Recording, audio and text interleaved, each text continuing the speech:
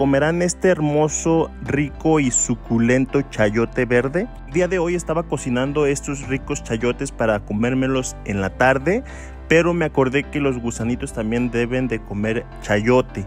Los chayotes son súper ricos en agua para ellos, entonces decidí darles uno para ver qué es lo que sucedía. Recuerda dejarme en los comentarios qué más quieres que les dé de comer a estos lindos y hermosos gusanitos. Suscríbete para poder seguir creando más retos, me ayudas bastante con tu suscripción.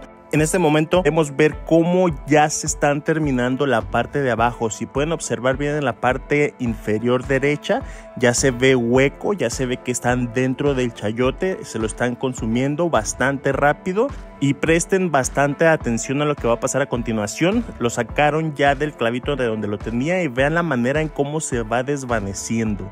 Vean eso, se ve impresionante.